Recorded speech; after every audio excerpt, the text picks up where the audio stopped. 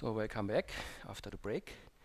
Um, good. So we uh, last time uh, we derived the formula for the joint eigenvalue distribution of the GUE, uh, and we got a very nice explicit description for finite n, for finite uh, n times n matrices, and this joint eigenvalue distribution was given as a determinant of a kernel. Huh? Okay, huh? so and such uh, so so probabilities, and and it's also nice that if we integrate out some of the variables, we still have something of the same type. Huh? So this this de determinantal structure uh, is a very nice thing, and actually it's, it's a very uh, uh, yeah it, it's a form which appears in many contexts. And today I want to talk a little bit about maybe it's it's kind of combinatorial meaning or, or it's, it's a kind of uh, specific meaning. So I mean uh, later, so this today will, will be kind of uh, interruption about maybe a non-crossing interpretation of such formulas. Uh, and then after Christmas next year, we will continue with using this determinantal formula for looking in particular on the largest eigenvalue. Uh, so I mean the big thing which we still have to do is to understand the statistics of the largest eigenvalue which is given by the Tracy-Widom distribution. Uh, and the starting point for this will of course be this analytic description. But today I just want to give a kind of uh, yeah, meaning or maybe some yeah, uh, talk a little bit about this kind of determinantal uh, behavior and actually uh, it's about determinantal processes. So up to now, we only looked on one random matrix, huh, and we had the eigenvalues of this, and we saw that they repel each other. Huh? That that's the the main feature of this uh, analytic description uh, which we had. And but you can make a process out of this. Huh? So instead of looking on a matrix where you only have one Gaussian entry there, you can put Brownian motions as the entries there, and then your matrix will also evolve, and the eigenvalues will evolve. And actually, in the new assignment, which will come out today, you are asked to numerically produce pictures like this. And then, of course, you will have, instead of just having n eigenvalues, you will have uh, n eigenvalues depending on time. Huh? So you will have path. And actually, uh, what those eigenvalues do is a kind of, of Brownian motion, but the effect that they uh, don't that they repel each other has the effect that those Brownian motions don't want to cross. Huh? So you get non-crossing Brownian motions. Huh? And the effect, that's exa exactly what, what is coming from the determinant. It somehow uh, yeah, makes the transition from having just independent uh, guys to guys who don't want to cross. And that's a, a, little bit what we want to understand, and this is a very general feature. Okay, so this is determinantal processes, and this is related to non-crossing paths. And this is actually a, a general feature which is showing up in different contexts, and there are actually two theorems which talk about this, and one is is exactly this context of non-crossing Brownian motions or random walks. So this is from Karlin and McGregor. And there's also a, purely combinatorial uh, version of this, uh, which is according to Gessel and Viennot. And so I just want to talk a little bit about those theorems and give you the idea and maybe also uh, the proof of the main points. Oh, okay, but let me start. So actually, yeah, with a remark, putting this into perspective to what, what we did before. So namely our probability distributions. So our probability distributions of the eigenvalues of the GUE, and that was really important to have the GUE, not the GOE, yeah, because uh, GOE, you can also do something, but not with the determinant. Huh? So it's really the GUE which has this very nice feature. So namely, they are probability distributions. So they have a determinantal structure. Determinantal uh, structure. So this means they are of the form that uh, yeah, the density of our eigenvalues is actually given essentially by a determinant of an n times n matrix. And, and, the entries uh, also have a very nice uh, form. But so it was some uh, normalization constant. And then the point is I have a determinant of a kernel uh, mu i mu, mu j from 1 up to n. Maybe let me call this star. Huh? Okay. Huh? So the point is here I have a, de a de determinant of some, yeah, of some two-point uh, function. Uh, okay, and we and of course what we have seen is this determinant actually is a Vandermonde, which means I have this repulsion between the eigenvalues. Uh, so this determinantal structure describes n eigenvalues uh, which are not independent but which repel each other.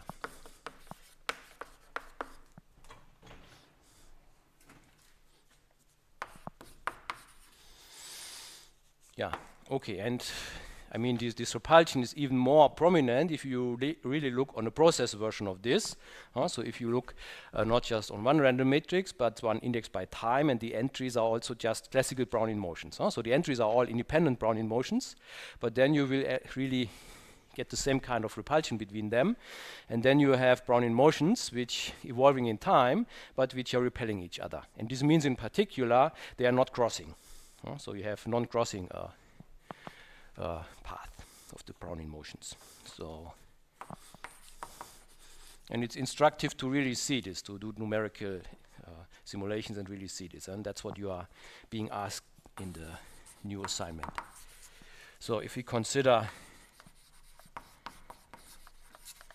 corresponding processes, of course we simulate and also later on, instead of looking on a Brownian motion, we're looking on a random walk, uh, because this is much easier uh, to simulate and we don't need much uh, theory for this. Okay, so if we look on corresponding processes, then the path of the eigenvalues don't cross. Good, and this is actually this non-crossing feature, this is actually a, a quite general uh, relation between determinants and non-crossing path. And that's what I want to talk about. So there is a quite general relation between determinants, as here in our formula, uh, and non-crossing paths.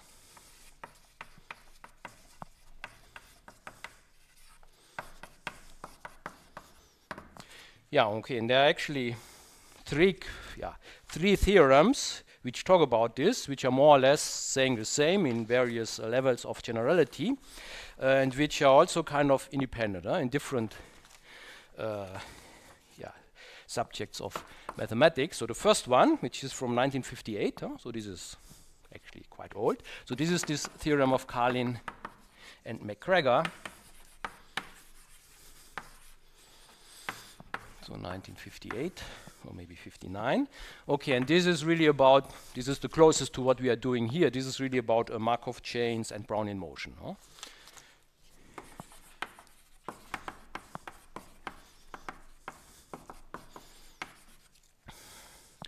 Yeah, then sometimes later there was maybe a more general version of this by Lindström, uh, 1973, which is in the context of matroids, matroids, um, which is a kind of uh, axiomatic version of independence. Oh, I'm not going to talk about this one, uh, but then there's also maybe a yeah, even more general one in a combinatorial, purely, purely combinatorial context, which is according to Gessel and Viennot. Huh? This is a bit later. And this is maybe the most general one. So this uh, Gessel is a combinatorist. So, and we know 1985, and this is in combinatorics, essentially about walks on graphs. Huh? Good, and I want to, in, so in particular, I want to present you this Karlin McGregor and this Gessel Viennot uh, theorem, uh, essentially the statement, but also maybe give the main idea of the proof, huh? so that you that we see why the determinant has effects like this. Good, and so let me start right away with the stochastic version of Karlin-McGregor. So this is really kind of stochastic version, and this is this is very close to what we are doing. Huh? So if you are looking on, on the on our uh, random walk for our random matrices, then this is really the right context. So this is a stochastic version a la Karlin McGregor. And there I'm looking on, okay, in principle I could look on processes, Brownian motion, uh, but we look on random walks uh, to have discrete discrete versions of this because this also makes it mathematically easier for us. So what I'm looking on is a random walk and let's say a random walk on the integers. Uh, so this means the integers are the point where I can sit, where I can move. So consider a random walk on the integers. Uh, okay, and let's say I have my random variable yk. So this is the position at time k. Uh, so I'm so I'm, I'm okay. The positions which I can occupy are the integers, and the time is also uh, discrete time. Huh? So also indexed by natural numbers. Huh? I'm starting at time zero somewhere, and then I evolve for a finite number of time steps. Okay, and yk. So this should be the position uh, at time k. Uh, so this is an integer number. And of course, so set here, the integers correspond to the possible positions. Good. Okay, and now I'm looking on a random walk, huh? so a Markov chain, which means I have uh, transition probabilities. Huh? So I mean, uh, just I'm, I'm sitting somewhere, and then I have transition probabilities, which tell me the probability what I'm going to do in the next step. Huh? Okay, and I'm looking on, on a simple situation, namely the nearest neighbor walk, which means I go either to the left or to the right, one step? One, yeah, plus or minus one. Good. And the probabilities of this can, of course, be arbitrary. So they sum up, of course, to one. It could be the symmetric one, where with probability one half I go left and probability one half I go right, but it could also an asymmetric one. So the trans transition probability to the two neighbors. So I'm just going left or right. So and this might also depend on the position. Huh? Okay, huh? so it's not a homogeneous random walk, but I mean it might depend on where where I am. Huh? So might depend on the position. so this means if I'm at position i, I can go either to i plus 1 or I can go to i minus 1 and I have a probability pi here for going right and a probability qi for going uh, left. Uh, and of course, so these p and q might can are allowed to depend on i. Uh, and of course, they are the probabilities. So I really want to go. It's not a lazy random walk, so I'm not staying here, but I really go in either way. So qi plus pi should be equal to 1. Good. Okay, uh, so that gives me a random walk, and this, yeah, this tells me probabilities for such a random walk. Uh, I can uh, I can calculate the probability of starting at some point and then uh, ending at some point. Good, but now I want to consider several copies of this random walk at the same time. Hmm? And of course, I could take independent copies. Okay, but now I want to uh, constrain those guys that they don't cross. Uh, so that, that will be the non quite non-trivial feature. Uh, so, I mean, one random walk is, is trivial. And also taking n independent copies of them is also trivial. But if I want to have the constraint that those, those several copies don't cross in between, never, never cross, then of course this is a, a quite non-trivial uh, constraint, and it's, it's not so clear right away how to calculate anything for this. So we consider now, let's say, n copies.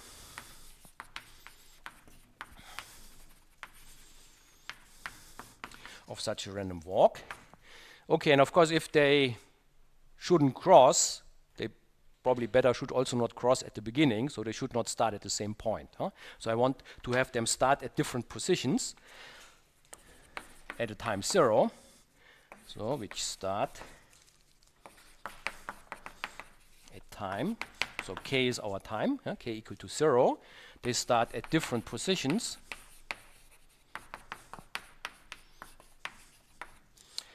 Uh, and then, yeah, I'm now interested in the probability uh, that such paths don't cross. So we are interested in the probability the paths don't cross.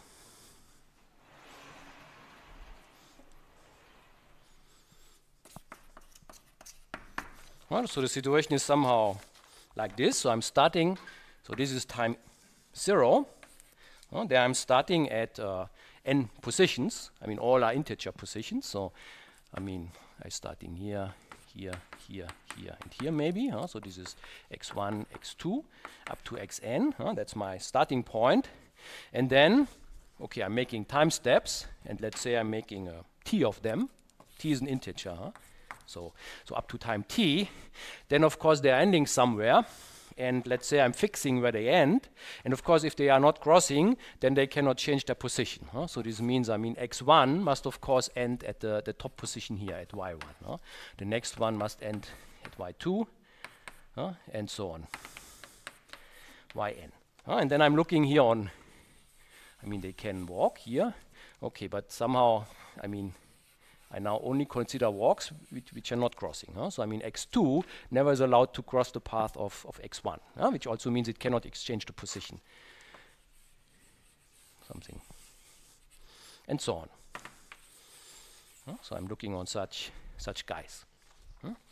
And of course there are paths like this, but of course there are many, probably many more paths which will cross, but I'm interested in the ones uh, which don't cross yeah, and so maybe, um, of course, because I'm here, I have an integer uh, situation. So maybe, I mean, okay, if they really should cross at some point, then better those guys should be an even number of, of spaces apart. Huh? So this is because otherwise they might cross without really uh, being at the same position at a time. Huh? So maybe we should think that the difference between all those guys is, is even, and then this means if the path cross, then th they have to be at the same at the same point at some time. Huh? Okay, so I mean, this is just uh, to make it a little bit simpler. So I, so I assume that xi is such that all distances between the x's are even. Hmm? Yeah, and this, this is just to ensure that two path, uh, so if two paths cross, this really means that they have to meet. They have to meet at some time. because otherwise, if, if, I would start at point, uh, let's say 1 and 2, uh, and then, I mean, this could go to this, this could go to this in a time step one, but essentially they would not cross uh, because I, I, don't have the times in between. I'm not seeing the times in between. Uh, so this means those guys cross, but they are not never meeting at at a point. but but if if they are two apart, so. Uh, I mean, then if this wants to go somewhere here, I mean, then then they have to cross at this time here, which is now really one of our integer times. Hmm? Okay, uh, so this is just to ensuring this. Good, and now, so what is now the statement? The statement is that actually I can calculate probabilities for those non-crossing situations by taking determinants of the information which corresponds just to the separate path. Oh? Okay, so I mean, of, of course, I, I, need the information what are probabilities for getting from here to here with, with one of my path. Huh? Okay, but this information, that's, that's like the two-point information uh, which we have in our uh, determinant for the joint eigenvalue distribution. And if I take such a determinant of such guys, then this determinant will actually count in the end the non-crossing situations. Uh, and so that, that's a very general feature. and this is the statement of this uh, Karlin-McGregor theorem, which I want uh, to write down now.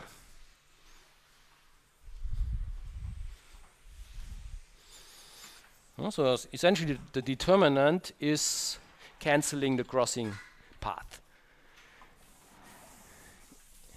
which seems reasonable because the determinant, if you calculate the determinant, you have plus minus sign, so this means you, you might have cancellations. So somehow the crossing path should be cancelled away.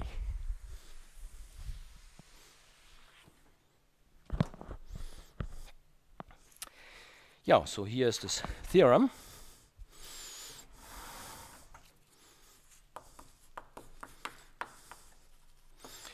Of Karlin.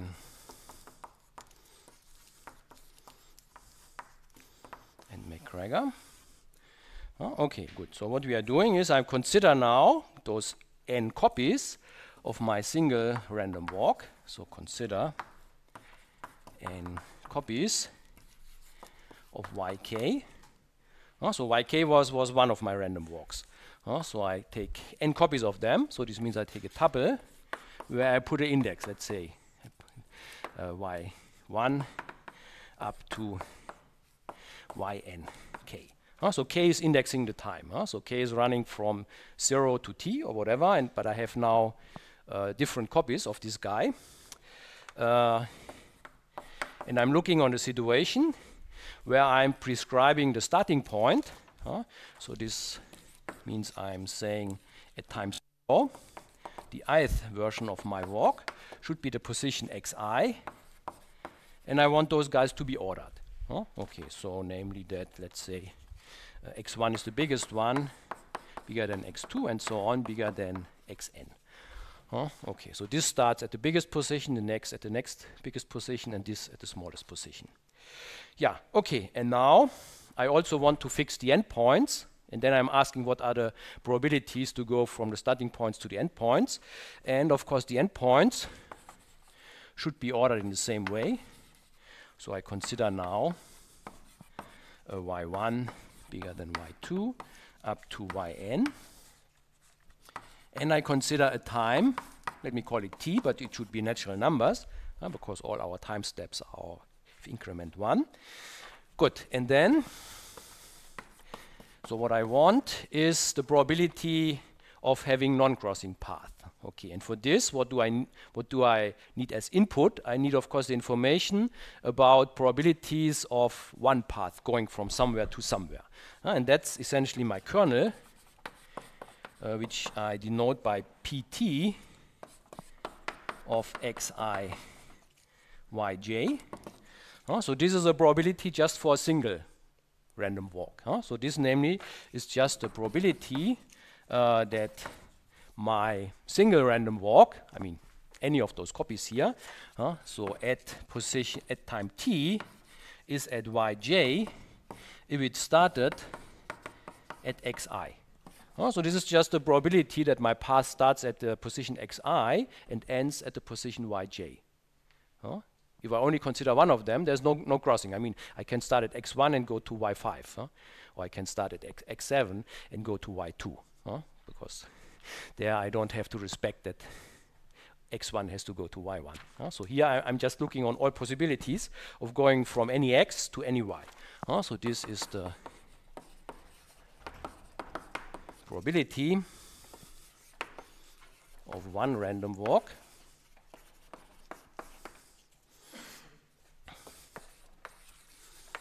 to get from starting point xi to the endpoint yj in t steps.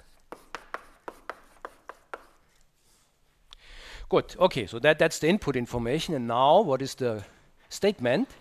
So the statement is now that I can run, yeah, have a very precise formula for the probability that if I consider all my n random walks simultaneously, and I want that they don't cross, then this is really given by such a determinant. So then, so then we have that the probability that, so I'm now looking on, on my end path, and I want that the ith random walk ends at the position yi.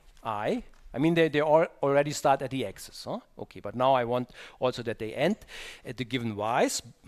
Uh, but in addition, and that's a crucial thing, I want that they, they always keep their order. Uh, which means they're not allowed to cross. Uh, so y1 is always the biggest one, y2 is the second biggest one, and so on. So I want that for not, not only at the beginning and at the end, they have this order, but they have it at all intermediate times. So y1 at time s is bigger than y2 at position s, and so on, bigger than ys yn at position s. and this has to be true for all s which are between 0 and t. And of course for 0 and for t, it is already clear because, I mean, here they are at the position x's and here at their position y's, which are ordered. But the point is we also want this for all s in between. Of course, s is here also a natural number. Good, so that's the probability in which we are interested. And the statement is that this is now given by the determinant of this matrix n by n matrix where I'm putting in all this information about one random walk, how it can get from xi to xj. So here I just have pt of xi yj, and this is an n by n matrix. Oh, and you see this is where this is exactly the same as we had for our joint eigenvalue distributions. Uh, so we have we have here a two-point function. Um, yeah. Okay. Yeah. Good. So, and maybe before I give somehow a proof, maybe let's let's do an example. Huh? Just I mean to see what I'm really claiming here, and maybe also more or less already see what what really uh, happens.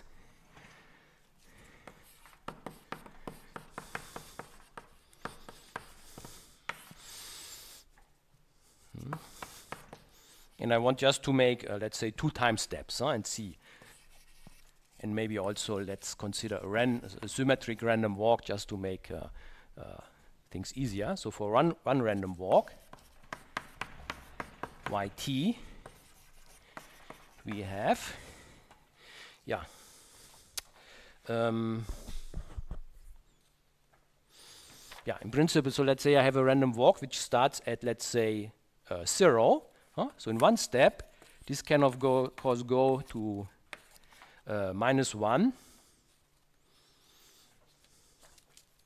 Yeah, if this is 0, so this is 1, this is minus 1. Uh, okay, and of course the probabilities, with probability P0, it can go here, and with probability Q0, it can go here. So let, us still assume general situation that this might depend on, on where I am. And then in the next time step, of course, I can go now uh, from here I can go to minus 2, 0, and from here I can go to plus 2 and 0. Oh, so this means I can, I mean, I, I still have here 0, uh, here 0, 1, 2. Oh, so from here I can go here and here, but from here I can also go to 0, and I can go here. Uh, and of course, uh, here I'm going with probability P1 here, here with probability Q1, I'm going here, and here I have the probability uh, uh, p minus 1 and q minus 1. Uh, and so, of course, the probability that I'm going from here to here is p0 times p1.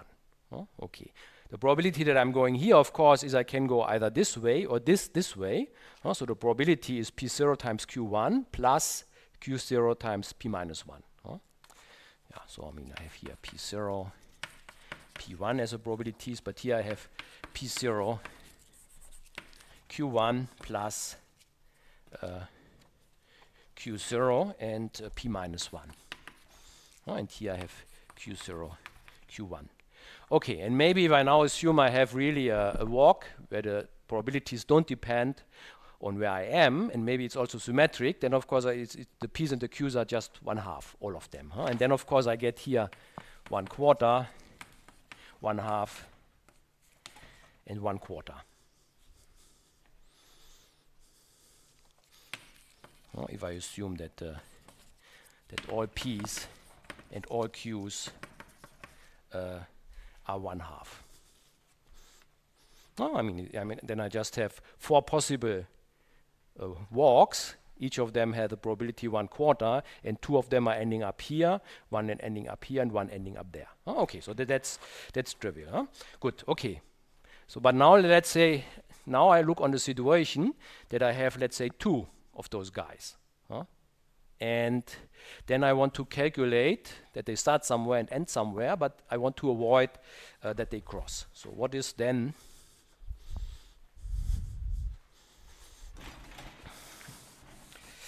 What is Karlin-McGregor telling me then?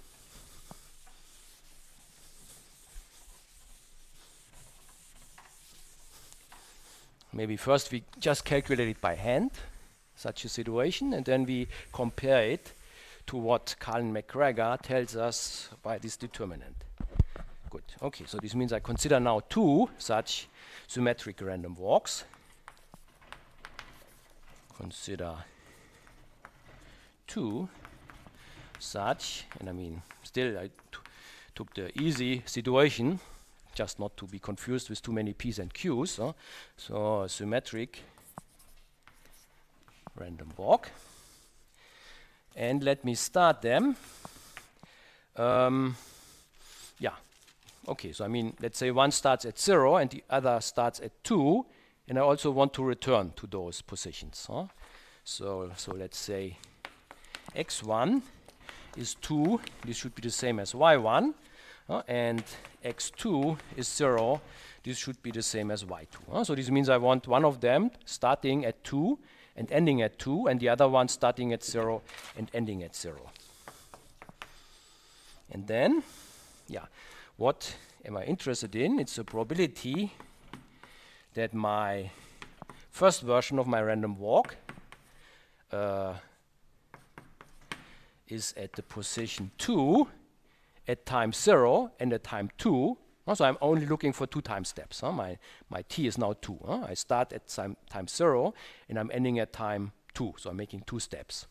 Huh? Okay, and uh, yeah, I also want that the second one starts at 0 and end, ends at zero. But in addition now, the additional constraint is that they should not meet. And of course, the only time they could meet now is the time one. Uh, because at the zero and two they are not uh, meeting. So I mean, I'm putting the constraint here that also at time one, the first one has to be bigger uh, than the second one. Yeah, and so what, what is the probability of this? And I mean, of course, we can uh, calculate the possibilities. Uh, so this is the probability of, yeah, so what is the situation? I'm starting, so this is 0, 1, 2.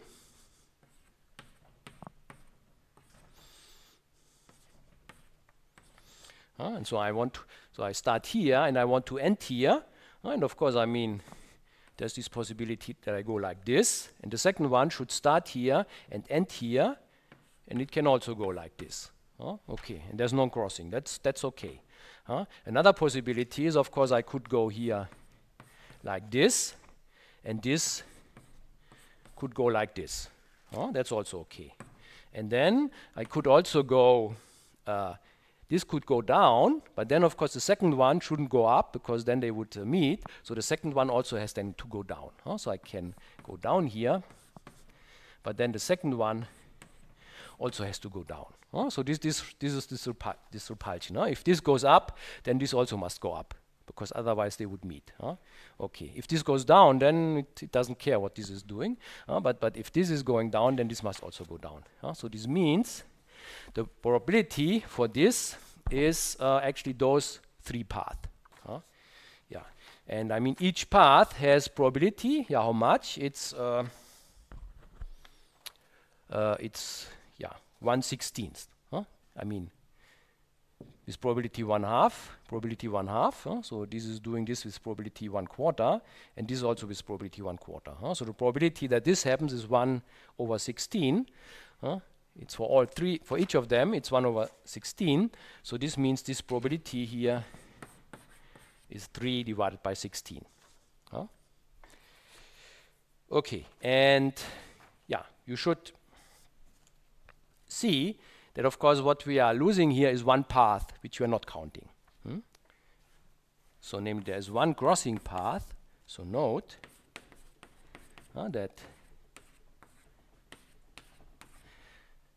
this situation that this goes down and then up and this goes up and down, this is not allowed. Uh, without any constraint, this would also be a possibility. Uh, this path is, is not allowed. Uh, so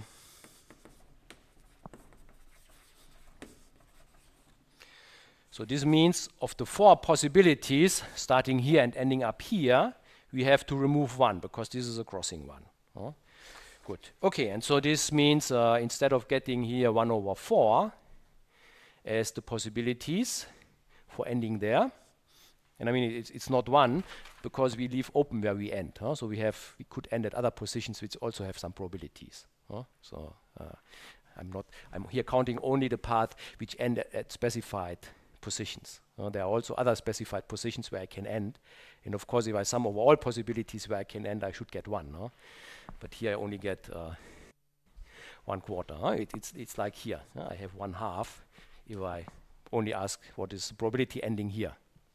Good. Okay, but so in any case, uh, the probability of ending at those specified positions under the constraint that I'm not crossing is not 4 over 16, but it's only 3 over 16 because one of the four possibilities uh, is, is missing.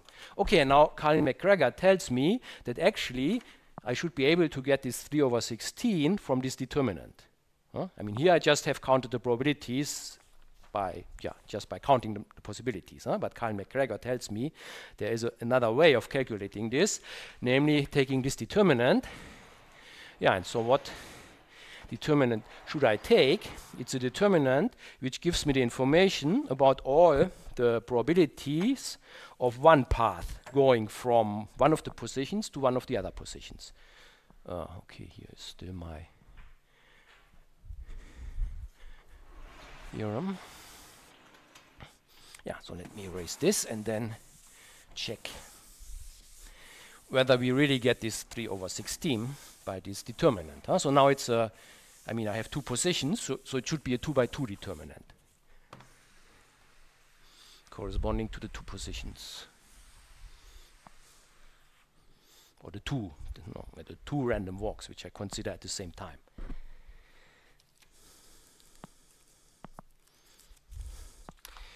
Yeah, so what is Carl McGregor telling us? So A3 says that we get this result also as, and I should take the determinant, so it's a 2 by 2 determinant, which essentially contains all the transition probabilities from one starting point to one end point, but only for one random walk. Uh, so I can go from the point 0 and the point 2 to 0 and 2. Yeah, and so what is, and I mean, this is exactly this situation here. Uh, I mean, I can go from 0 uh, to 0 or 2, uh, and the probability is 1 half or 1 quarter. Uh, so going from 0 to C 0 with one random walk, the probability is 1 half. Going from 0 from 0 to 2 uh, is 1 quarter. And of course, also going from 2 to 0 and from 2, that's of course the same. Huh? So I have here also 1 quarter and 1 half. So th those are just probabilities from one random walk, telling me what are the probabilities of getting from one of the x's to one of the y's, just for one random walk. Now this is just this picture.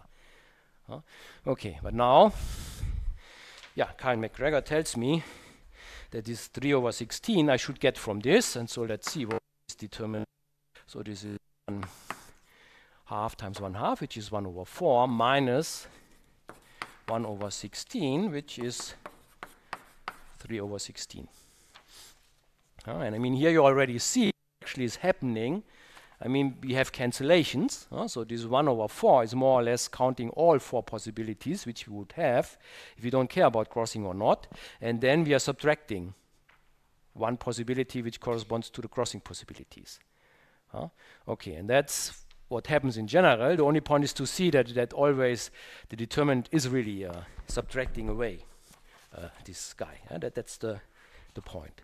And so let me do the proof. And again, I'm doing the proof only for, for a 2 by 2 matrix, but of course uh, more, more general.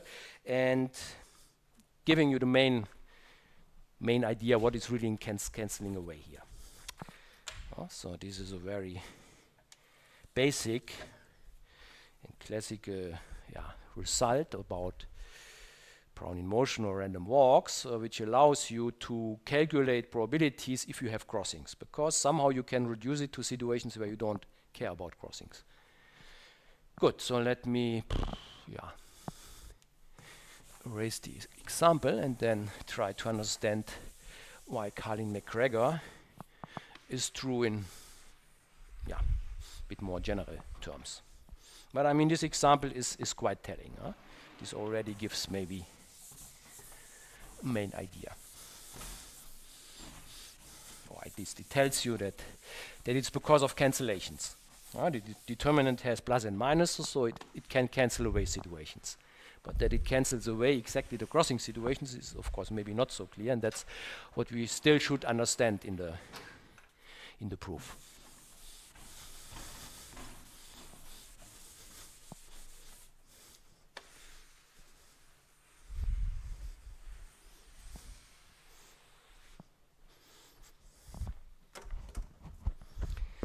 Good, so let me do the proof. And for this, maybe it's good to have a bit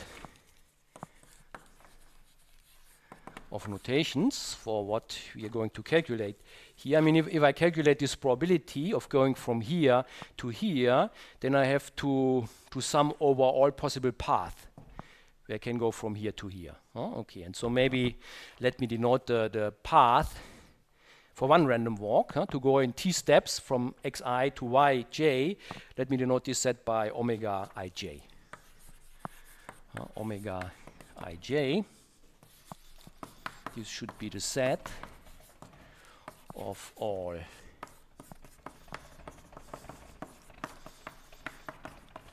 Possible path where I go in t steps from um, yeah, let's say xi to yj. Huh? Okay, and of course, what I need is the probability of such a path, uh, which of course is, is, is, the product of all the probabilities of each step which I'm doing in such a path. But let me just uh, denote this by, uh, by p of pi. Let, let's say pi is a, is a path here, and then I denote by p of pi its probability. So this should be the probability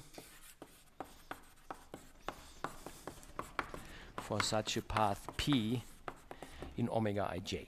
Huh? Okay, and then if I want to have this probability here, then of course I should sum over all possible paths and sum their probabilities. Huh? So this means this pt uh, the probability of getting from xi to yj is given by summing over all possible paths that I can go from xi to yj, and then I have to sum the probability of each path. I mean, these are, of course, disjoint events, so that's clear. It's just having a kind of notation. Good. And so what, what I have now, I mean, this determinant is, of course, now the determinant of having those sums.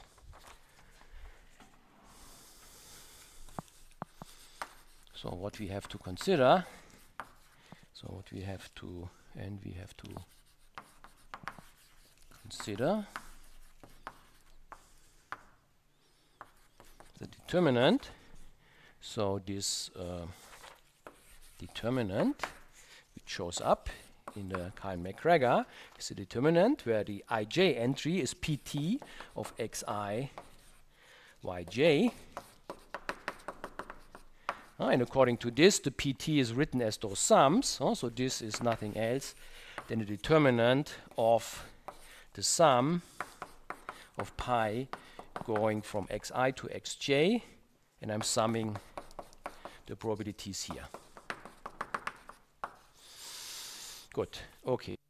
So as before, let me now just look on the 2 by n equal to 2 case. So I have a 2 by 2 matrix, and I can write down the determinant explicitly. Oh, so this looks okay. This is, of course, a very simple situation, but still, uh, I think it's, it's enough to get the main idea. So let us consider n equal to 2. Huh? So then, of course, I have the determinant. And now, of course, so I have the four entries. And so here, in the 1, 1 entry, this means I'm going from x1 to y1. Huh? So I'm summing over all path in omega 1, 1.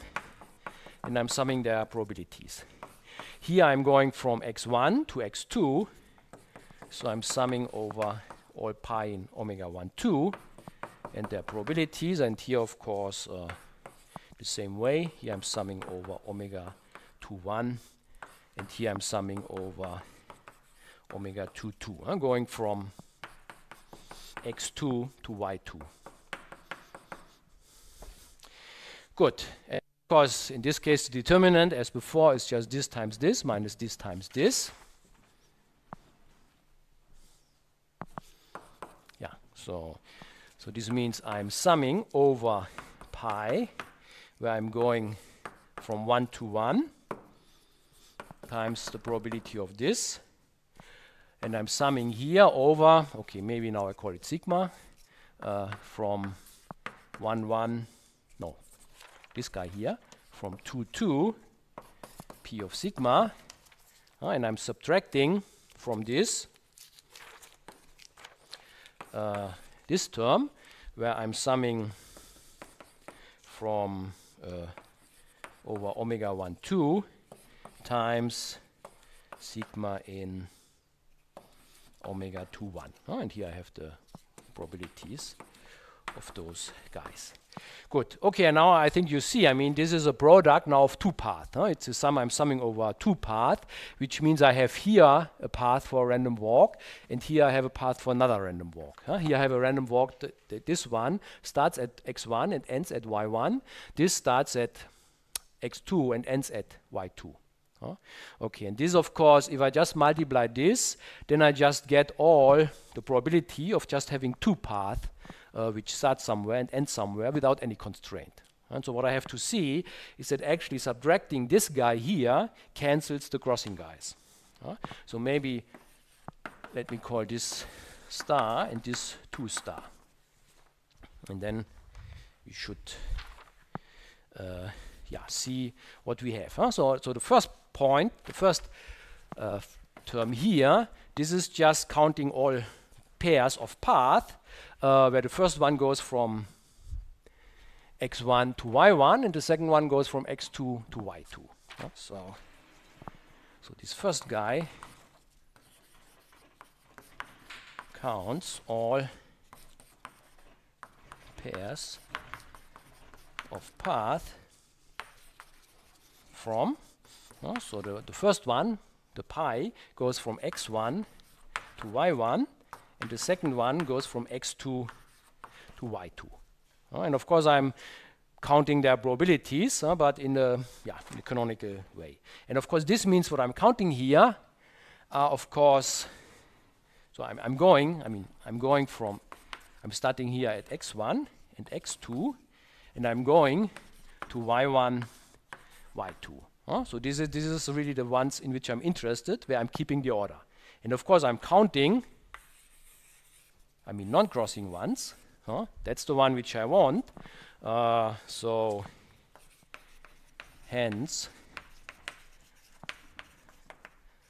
non-crossing ones but there are also crossing ones which we are counting here huh? because even if at the end I have still have the same order as before in between I could have had crossings uh, which but maybe I have it twice so that in the end I still have the the original order. Huh? So, but also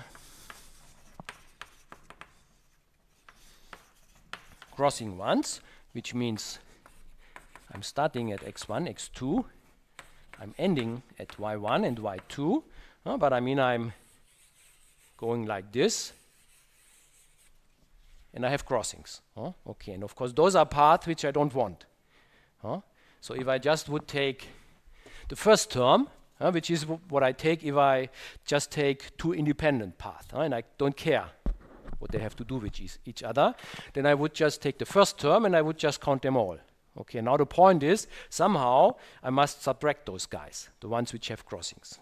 Okay, and there is this beautiful uh, kind of bijection, which tells me that actually those guys, uh, which end like this and have crossings, um, I can, by kind of reflection principle, identify them with paths which uh, I mean, are not starting at x1, x2 and ending at y1, y2, but where I change this here, namely paths where I end at x1, uh, start at x1, but end at y2, and this the other way around. Uh, so I can namely, this path here, I can actually uh, replace this uh, by a path where I'm changing the endpoints. Uh, so instead, I mean, this, this guy here, this goes like this. Huh? So it, it starts here, and it, it ends here. And now what I'm doing is I'm just, when I'm have my first crossing point between the two paths, I'm just exchanging the two paths. Huh? So the first path, I mean here it, it, runs like this, but now instead of continuing on its original way, it now continues here. So it continues on this path, and this means of course it will now end up at y2. Uh, and the other guy, also the first crossing, I mean this guy here, at the first crossing I'm switching to the other one and then it continues like the other path before and it will end up here. Okay, and if I'm switching those guys, I mean I'm also really keeping the probabilities of such path. Huh? So I'm not changing probabilities. I can identify uh, the path before which had the crossing but which kept the original order uh, with by a path uh, where I'm switching the order. And this, this is, I mean, this is called reflection principle because we are reflecting the path at their crossing points. And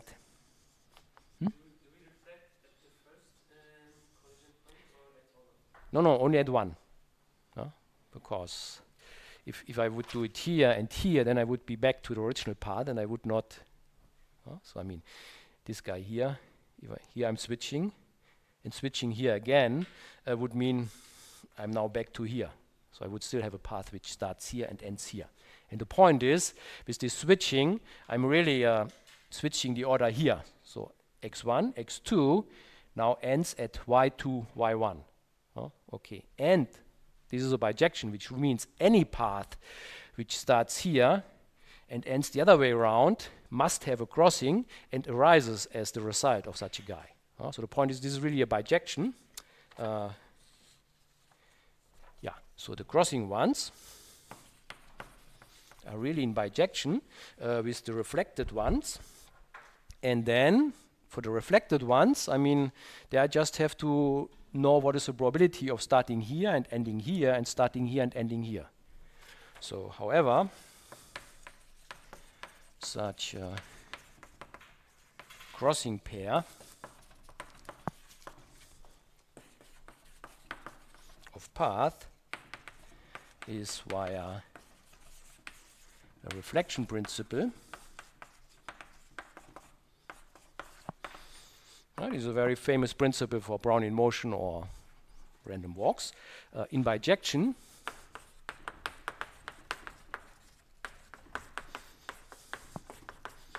with paths which start at x1 but end at y2 and the other path starts at x2 and ends at y1. Uh, and crucial is, of course, that this bijection also preserves the probabilities. Yeah, good, but the path which I have here starting at x1, ending at y2, starting it at x2 and ending at y1 are exactly the guys which are counted here. which I'm subtracting now.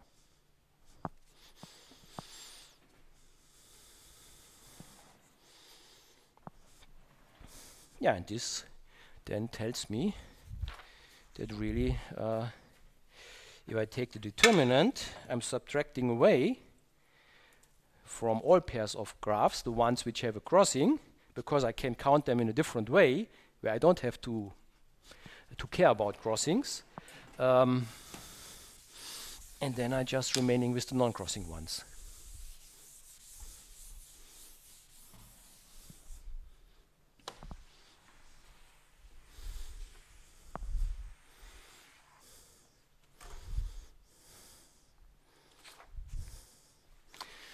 Okay, so let me write it down. So those paths, the ones which start at x1 and end at y2, and the other one starting at x2 and ending at y1, those guys are counted uh, by the term 2 in our determinant. Because those here are exactly uh, this is a pair of paths. The first starts at x1 and ends at y2, and the second one starts at x2 and ends at y1. Mm? And those, such, I mean, such pairs, I mean, you can also go backwards here. Whenever you have a path which starts here and ends here, and a path which starts starts here and ends here, then you can essentially uh, reflect it at the first. I mean, they must have a crossing point because they have exchanged their order. So at the first crossing point, you can reflect them, and then you get a path like this. Uh, no, you, you get a you get a path where you keep the order, uh, but um, they are crossing.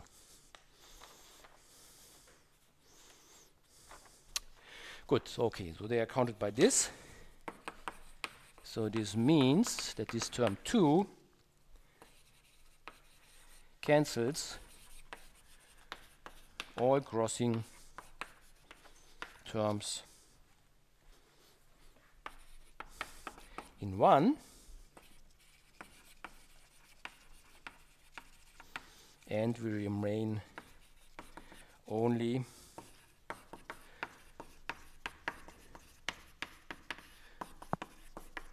with the non-crossing path. Hmm? Good, okay. And of course, this is now for the 2 by 2 matrix case, but I hope you can imagine that in general it works in the same way. Huh? Of course, I mean, you have to, to reflect more things, and essentially you have to see that you have bijections where all the crossing terms appear twice, huh? once with a plus and once with a minus. Huh? But I'm, I don't want to go into details because this, this is really the main idea. Huh? This, this reflection principle, this is a very powerful tool. So general N works more or less in the same way.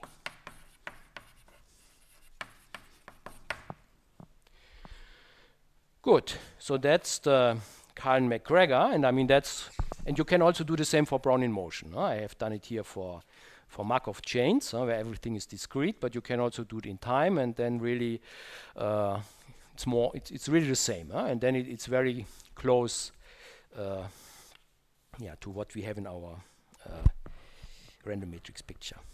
Good, but maybe I also want to give maybe a, a more general version of this, which is combinatorial, and actually is, is you're, you're, counting walks on a graph. So, uh, and of course, it's more or less of the same type, and the idea is the same, but it's it's really the nice thing is really applications of this. So you really have to choose uh, your graph in the right way, and then sometimes you might get very surprising statements out of this. Huh? So I want to give you the formulation of this Gessel-Viennot, and then also maybe if you one application uh, where we calculate it may be the other way around. So I mean here we have used essentially uh, the, the determinant uh, we use a determinant to calculate a probability in which we are interested. Huh? Okay, but maybe in a combinatorial context, mm, you could also use it in a different way, namely that you write some quantity in terms of determinant, and this might allow you to get some property of this determinant, which is a priori not clear. And so maybe that's the direction in which we are going to use it. But maybe let me first give you the statement of this combinatorial version of this setting. So this is the combinatorial version.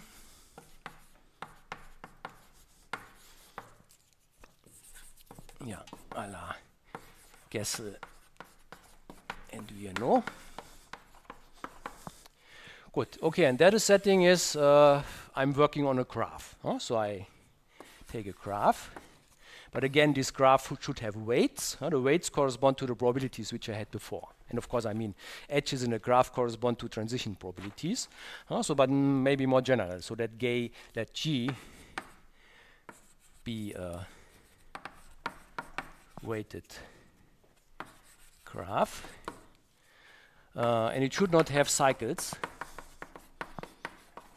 And actually the graph is, is, is directed, huh? so this means I should not have directed cycles, because if I want to count, I want to count somehow walks, and if I have cycles, I can walk in cycles forever, which means I would have infinitely many uh, ways of doing it, uh, because I'm not specifying a time.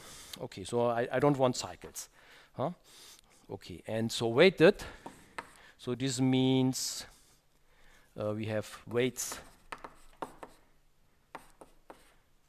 weights on each edge. Huh? So this means, um, yeah, and okay, and it should also be directed. Huh?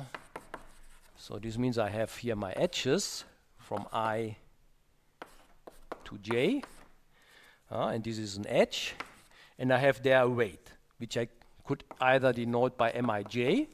Because it's, it's going from I to J. Or if the edge has a name, then I could also denote it by ME, uh, if E is the edge. Uh, so and, and, I have for each edge, I have weights, and they can be arbitrary. Um, yeah. So okay. So I have such a graph, and if I have uh, weights on the edges, then of course I also have uh, I can use this for putting weights on path. Huh? So if I have a path, then of course this means I'm I have a walk in my, my graph, and then I'm just multiplying the weights of the involved uh, edges. Uh, so if I have weights on the edges, then this gives weights for path. Uh, so path, let's say I call this P. Uh, so this is just, I mean, walk, where I'm walking between uh, different edges. Huh? So I mean, yeah, it's, it's a sequence of vertices such that I have a directed edge between a vertices, vertex and the next one. And I'm starting at some vertex, I'm ending at some vertex. Uh, and I mean, it, it, it, it's directed, huh? so it's, it's really, I, I, must have an edge in, in the right direction. Uh, okay, but then if I have weights on all of them, I just take the product of all the weights. Uh, so m of p, the weight of such a path, is just the product of all the weights corresponding to all the edges in my p. Good, and then of course now I can ask the, the analog of these transition probabilities going from one vertex to another vertex. There I'm just summing over all possible paths where, where I can go, and then sum over all the weights of all those paths. Uh, so I, I, have, I have now a weight for a path, and this means, and then this gives me also weights for connecting two vertices.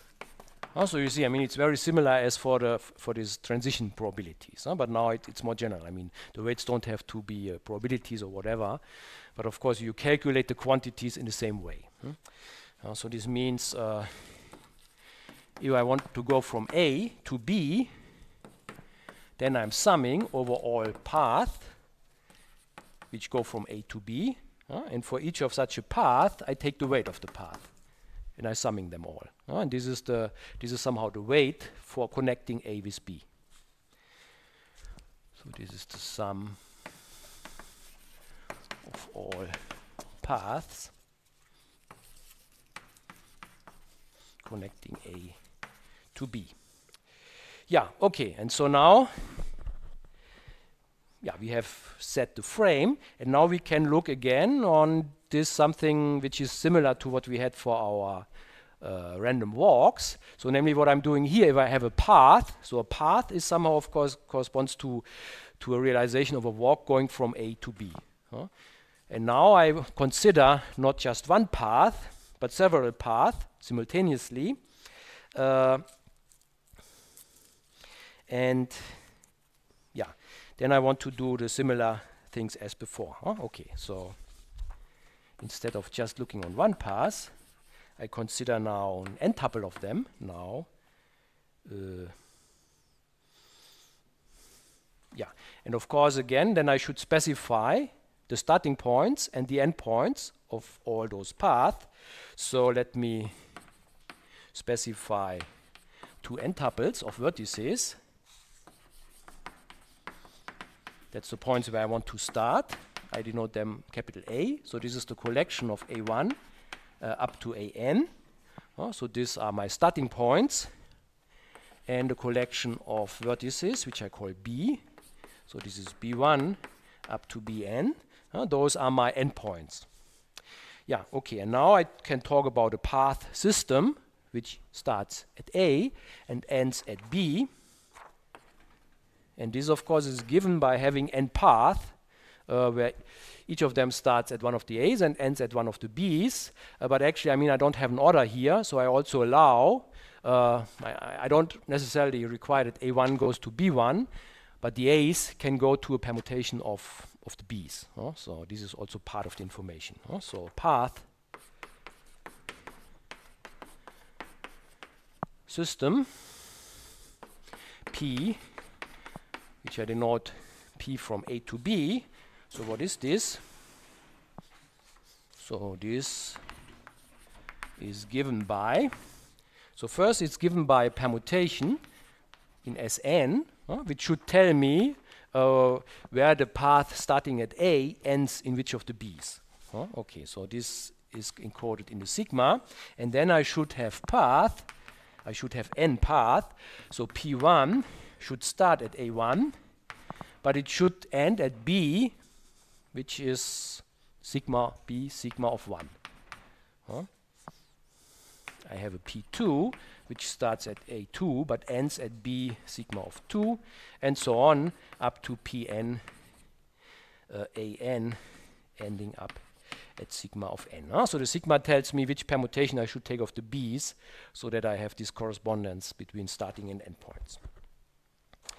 Good. Okay. Huh? So this is now just having n path. Up to now, no constraint whether they cross or not. Huh? It's just having more or less independent path where I have specified the starting and the end points. And maybe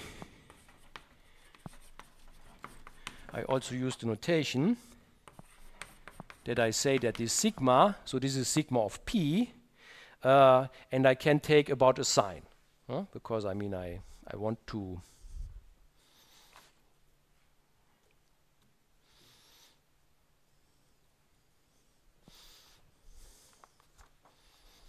talk about a determinant and then I should have signs.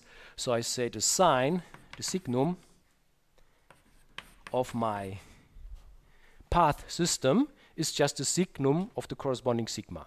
Uh, so path system always comes with a sigma uh, and just uh, the sign of this I say this is the signum, the sign of the path system. Good. And so let me see. Yeah, and now, so this is just having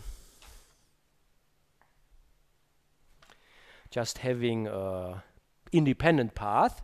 And now we want to have the analog of paths which don't cross. And this in this setting is a vertex disjoint path system. So this, this, this just means that those n paths should never have a vertex in common.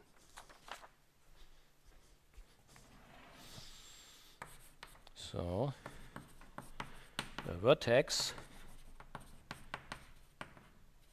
disjoint path system.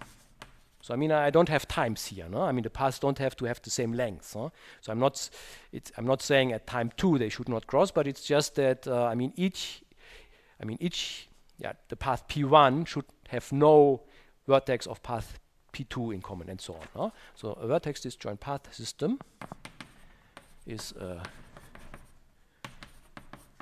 path system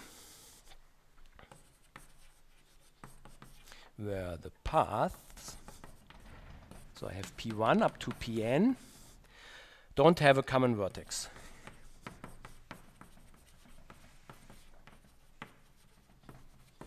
Which means in particular, of course, uh, that all the A's must be different and all the B's must be different. Oh, okay.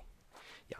Good. And so now what? Now I can uh, yeah, write down the lemma of Gessel and Viennot, which essentially also makes a statement about how to count vertex disjoint path systems in terms of path systems without any constraint. But again, I should take the determinant of this situation. Uh, so it, it's very similar to all the things before. It's not just a more general uh, setting.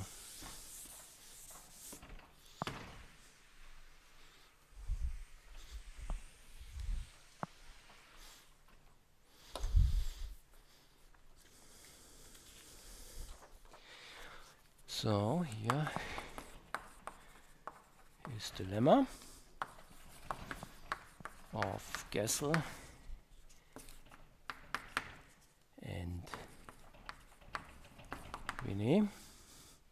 And it's, it's a lemma because for itself it looks like technical and it's not clear what it really tells you. The point is that if you use it in the right way, it can give you very powerful uh, statements. Huh?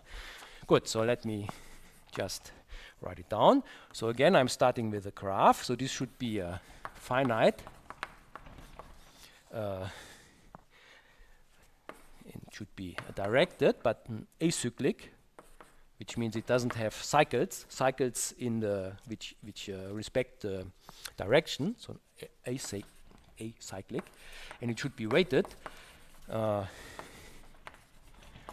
directed graph. And then I'm looking on path systems which start at A, so I'm specifying also an A, A1 up to AN, uh, so n vertices of my graph, and the end vertices, so B is uh, B1 up to Bn. Again, some n vertices of my graph, so this should just be two n sets of vertices. Good, and then the statement is that, again, I'm taking the determinant which contains, yeah, the determinant contains now as entries the kind of two-point correlation function, which is just the information how do I get with one path from one of my A's to one of the B's. Huh? Uh, so getting from uh, AI to Bj, uh, this is just uh, summing over all paths uh, with all their weights, uh, yeah, summing all the weight, the products of the weights of those guys, starting at AI and going to Bj, but only with one path. Uh, that's the one path information. And I'm taking this as a matrix, i and j are running from 1 to n, so this is an n times n matrix. And if I take the determinant of this, then again I'm counting things, I'm, I'm, I'm counting now uh, my path system of n path with the constraint that they don't cross, huh, which means they are vertex disjoint. So I'm getting here the vertex disjoint uh, path, so I'm getting path systems from A to B, which are vertex disjoint. This is the this is the version here of non non-crossing. Huh? And so I mean, yeah, I have my path here, and I'm also getting a sign here. So I have to take here uh, the signum of the sigma, uh, because I might have a sigma for my path system, because the b's, the order of the b's might be exchanged. And of course, each path system, what is the weight of this? I should take the weight of this. And this is just the product of the weights of all the involved paths. So I get here the product from 1 up to n m of the pi. Uh, so P is a collection P1 up to Pn, and I'm taking those weights here. Uh, okay, good. And I'm not going to prove this. I'm just saying the proof is similar to before. Uh, so more or less, it's, it's again that crossing path cancel in the determinant. Uh, so I mean, if, if you would, uh, yeah, just taking products of those guys here, I mean, here you're taking here the products, you're, you're getting a determinant, factors like this, but then you're also canceling away the guys where you have uh, in your path system, you have the same vertex showing up at the same time. Huh? So it's again like the reflection principle. Good. Okay, I'm not, I don't want to do this. I mean, maybe you can think by yourself. I think there is no real new idea. It's more technically maybe a bit more complicated. But the idea is again the crossing path cancel in the determinant. Good. Okay, but so what I want to do is to give an application of this, because I mean, this looks maybe it's not clear what should I do with such a theorem. Huh? Of course, if I specify to the Markov chains, then it's somehow clear what my graph is. Huh? But are there any other graphs for which this gives me an interesting statement?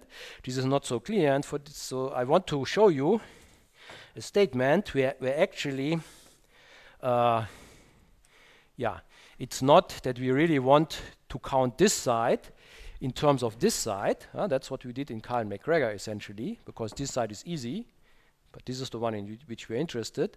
But actually, we want to do the other way around, namely understanding this side in terms of this side.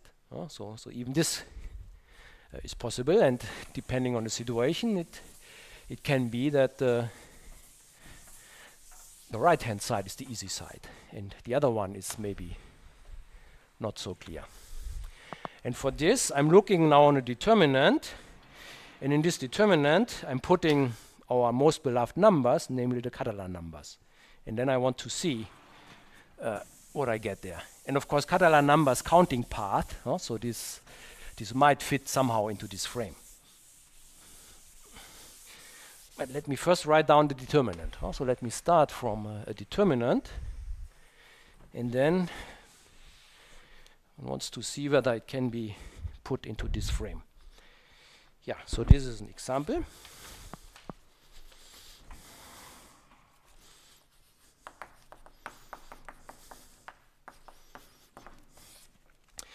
Yeah, so I'm taking the Catalan numbers, Cn, be the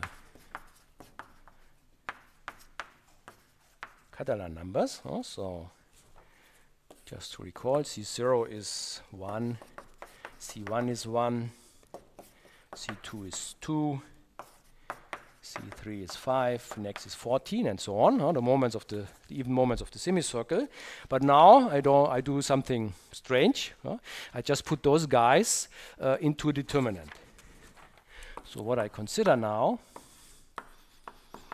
is a determinant, uh, an n times n determinant, where I'm putting essentially uh, as an ij entry the ci plus j maybe shifted by something. Huh? So I'm putting here C0, C1, C2, up to Cn. Uh, it should be a symmetric guy, so C2, C3, here C2, Cn. Okay, and here I'm going up to C2n. Uh, so I'm taking essentially i plus j, but but shifted by one. Huh? So C with this index. Huh? So this is a okay. This is a matrix. I'm taking the determinant of this. And yeah, the strange point is, if you calculate this determinant, it seems there is some structure. Uh, a priori, it's not clear what this should be, but let us look on small examples. Uh, so what is the determinant of M0? So this is a, a 1 times 1 matrix, which only contains C0, which of course is determinant of this is equal to 1. So if I take the determinant of M1, so what do I take then? I have C0, C1, C1, C2. Uh, so this is, yeah, maybe this is 1, 2, no. C0 is 1, C1 is also 1, and C2 is 2. So what do I get? 2 minus 1, so this is 1. Okay, maybe this is not so surprising. What else should it be? But maybe the next one.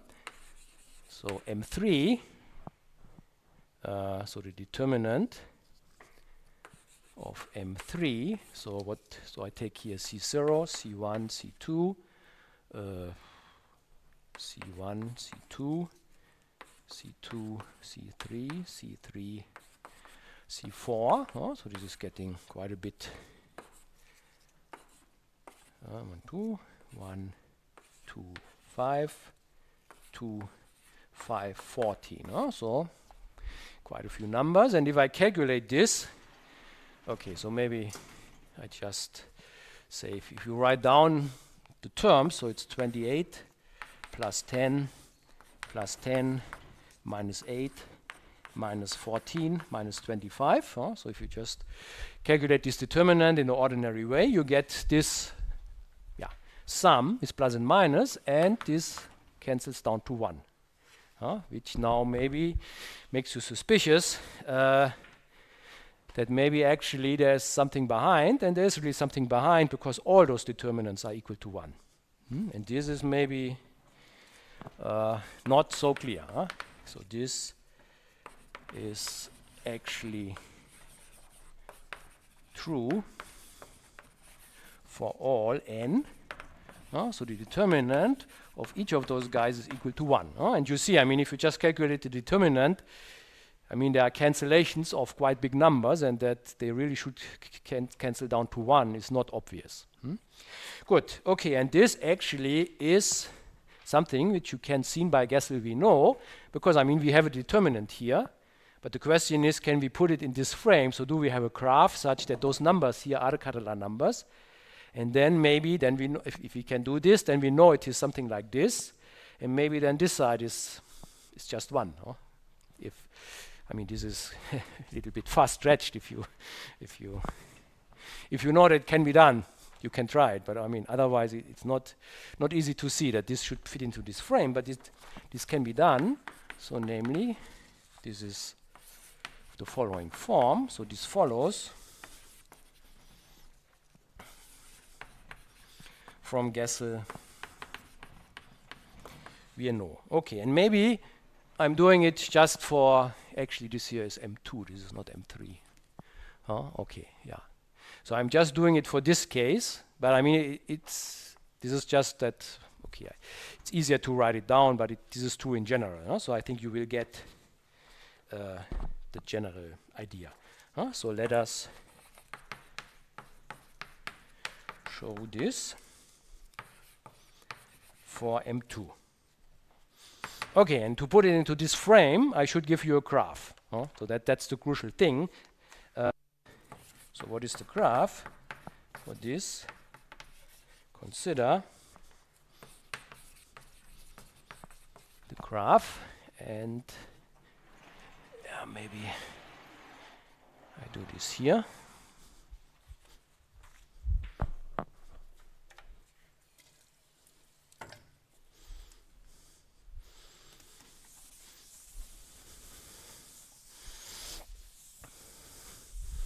And it should be a graph where maybe the Catalan numbers have a meaning. And of course, we know that the Catalan numbers uh, count some Dyck path. Huh? So maybe we should could put all those graphs, those those graphs, those Dyck path into one picture. And so that's what it is. So I, am doing it for, what is it? Uh, n is 2, but I have a 3 by 3 matrix. Huh? So th this means the n in uh, Gessel-Viennot is 3. Huh? So I need, I need uh, my A and my B should consist of, of three points. Huh? And I, I, I want to consider three paths. And so what I'm doing is I'm looking on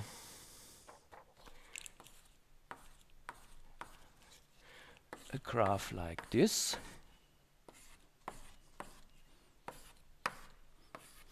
Ah, okay, so this is just uh, integer points, uh, like this. Um, and so I have a graph. So I should specify edges, and the edges are just the lattice points, essentially. Uh, so I'm just taking here part of the lattice. Uh, so I'm connecting things like this. Oops. And then, of course, it should be a directed path. So I should have directions for my walks.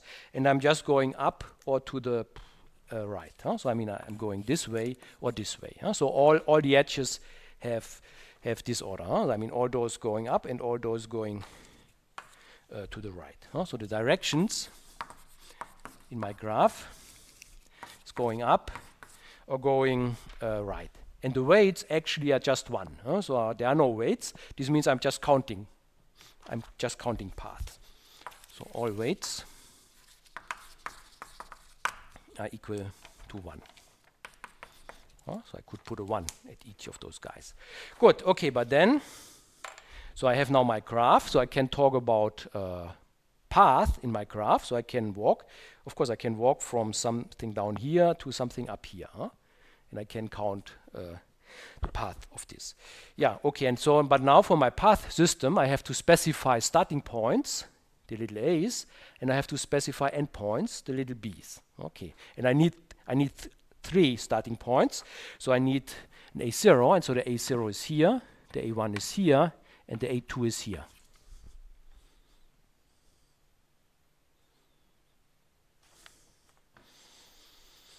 Good. Then I also need the B's, and the B's are going here, but the B0 is here, the B1 is here, and the B2 is here.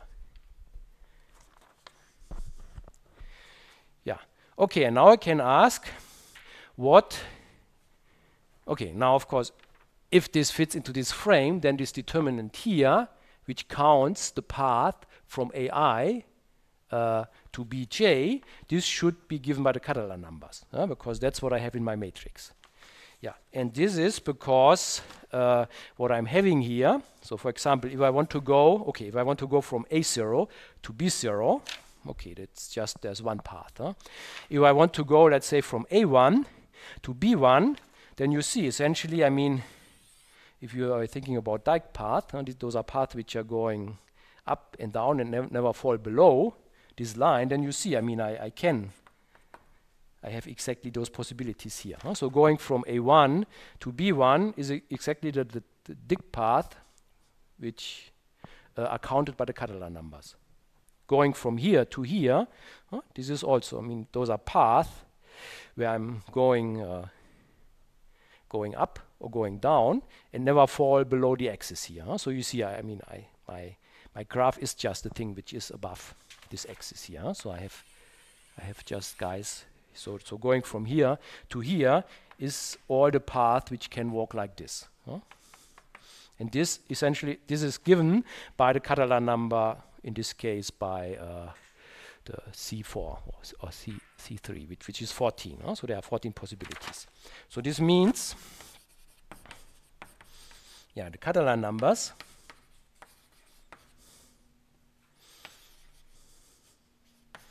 count this Dyck path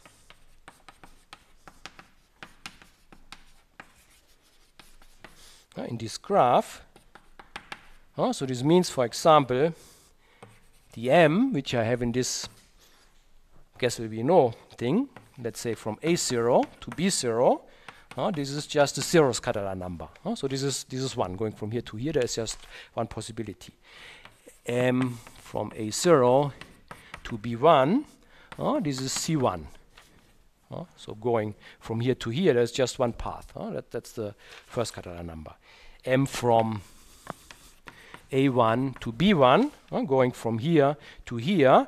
Uh, this is 2, uh, because this is the second Catalan number, because I can go like this, or I can go like this. Uh, so this is C2. And so on. Uh, and, and this is true in general, because I'm just, if I want to go from here to here, I just have to do those, those Dyck path. And we know that this is counted by the Catalan numbers.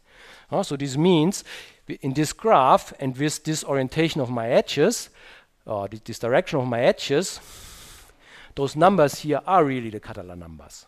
So this guy here really is uh, this, this determinant which I'm interested in. Yeah, but then um, Viennot tells me that this determinant I can calculate also with this side here. And then it's quite easy to see that actually this side is 1.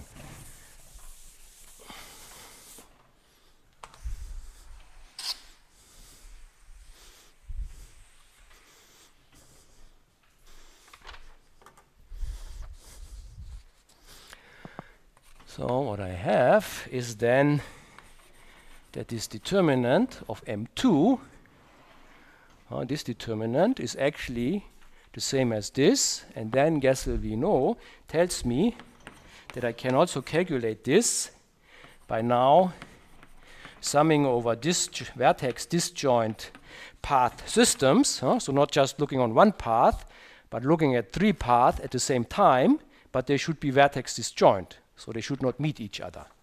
So I'm now looking on a path system which starts at A0,